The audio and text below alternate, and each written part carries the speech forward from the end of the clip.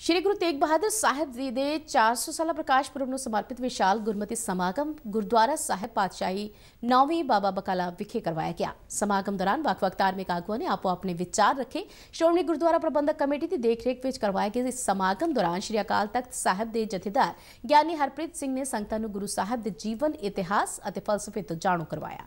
ਉਹਨਾਂ ਕਿਹਾ ਕਿ ਗੁਰੂ ਤੇਗ ਬਹਾਦਰ ਜੀ ਦਾ ਸਮੁੱਚਾ ਜੀਵਨ ਮਨੁੱਖਤਾ ਲਈ ਪ੍ਰੇਰਣਾ ਦਾ ਸਰੋਤ ਹੈ ਅਤੇ ਉਹਨਾਂ ਦੀ ਸ਼ਹਾਦਤ ਦੁਨੀਆ ਅੰਦਰ ਵਿਲੱਖਣ ਅਤੇ ਅਦੁੱਤੀ ਹੈ ਸਮਾਗਮ ਦੌਰਾਨ ਬੋਲਦਿਆਂ ਸ਼੍ਰੋਮਣੀ ਗੁਰਦੁਆਰਾ ਪ੍ਰਬੰਧਕ ਕਮੇਟੀ ਦੀ ਪ੍ਰਧਾਨ ਬੀਬੀ ਜਾਗੀਰ ਕੌਰ ਨੇ ਕਿਹਾ ਕਿ ਸ੍ਰੀ ਗੁਰੂ ਤੇਗ ਬਹਾਦਰ ਸਾਹਿਬ ਜੀ ਨੇ ਸਮਾਜ ਦੀ ਬਿਹਤਰੀ ਲਈ ਜਿਹੜਾ ਰਾਹ ਦੱਸਿਆ ਸੀ, ਉਹ ਦੁਨੀਆ ਦੇ ਧਾਰਮਿਕ ਇਤਿਹਾਸ ਦੇ ਵਿੱਚ ਅਸਲ 'ਚ ਨਵਿਕਲਾ ਹੈ ਸਿੱਖ ਵਿਚਾਰਧਾਰਾ ਦੇ ਵਿੱਚ ਨੌਵੇਂ ਪਾਤਸ਼ਾਹ ਜੀ ਦੀ ਦਾ ਮਨੁੱਖਤਾ ਨੂੰ ਉੱਚਾ ਚੁੱਕਣ ਵਾਲਾ ਫਲਸਫਾ ਦੁਨੀਆ ਦੀ ਅਗਵਾਈ ਕਰਦਾ ਹੈ। ਉਹਨਾਂ ਕਿਹਾ ਕਿ ਗੁਰੂ ਸਾਹਿਬ ਦੇ ਜੀਵਨ ਫਲਸਫੇ ਤੋਂ ਇਹ ਪ੍ਰਤੱਖ ਹੁੰਦਾ ਹੈ ਕਿ ਅਸੀਂ ਕਿਸ ਤਰ੍ਹਾਂ ਨਾਲ ਹਰ ਧਰਮ ਦੇ ਲੋਕਾਂ ਨਾਲ ਆਪਸੀ ਸੰਬੰਧ ਮਜ਼ਬੂਤ ਕਰਨੇ ਨੇ।